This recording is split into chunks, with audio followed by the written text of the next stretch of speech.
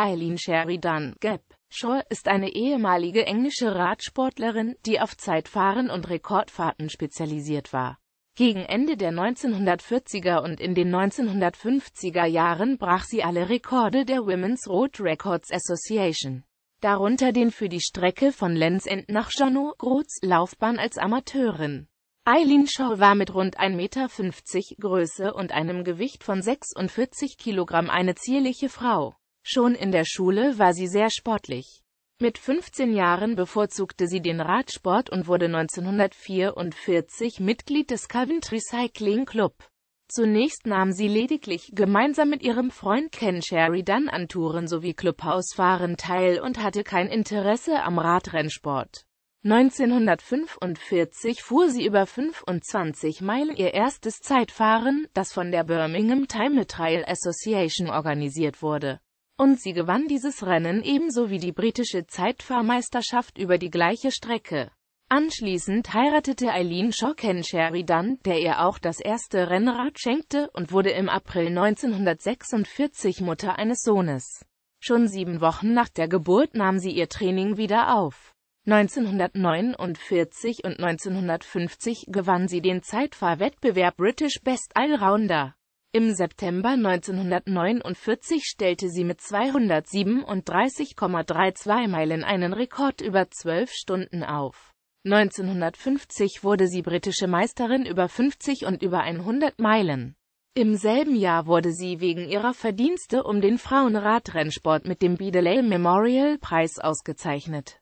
Nachdem sie in einem Jahr drei Meisterschaften gewonnen und fünf Rekorde aufgestellt hatte, Profikarriere 1951 unterschrieb Eileen Sherry dann einen Dreijahresvertrag mit der Hercules Cycle and Motor Company, mit dem Ziel, Rekorde im Straßenradsport zu fahren. Ihr Betreuer bei Hercules war der Olympiateilnehmer und viermalige Best-Allrounder Frank Soutal. 1954 brach sie mit 250,5 Meilen den bisherigen 12-Stunden-Rekord und mit 446,5 Meilen den über 24 Stunden. Während ihrer gesamten aktiven Zeit stellte sie insgesamt 21 Rekorde im Frauenbereich auf, meist mit riesigem Vorsprung.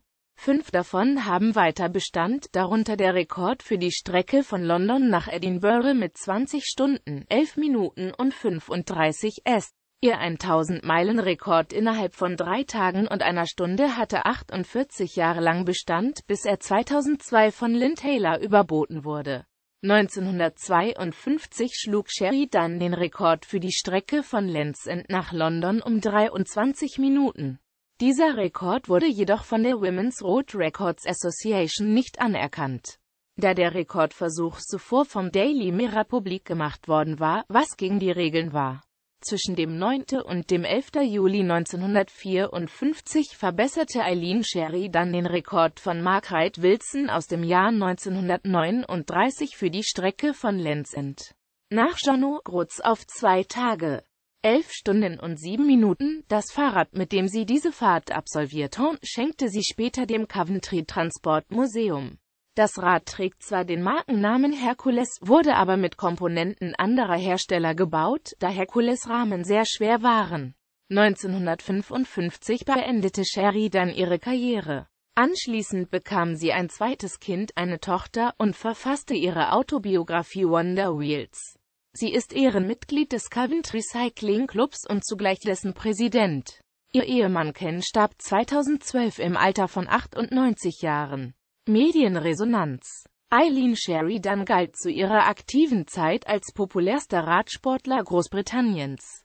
1952 wurde sie in einem Dokumentarfilm von Dunlop mit dem Titel Spinning Wheels Cyclesport 50s Teil gemeinsam mit Reg Harris, Ken Joy und Cyril Peacock porträtiert, auch werden Szenen der Tour de France gezeigt.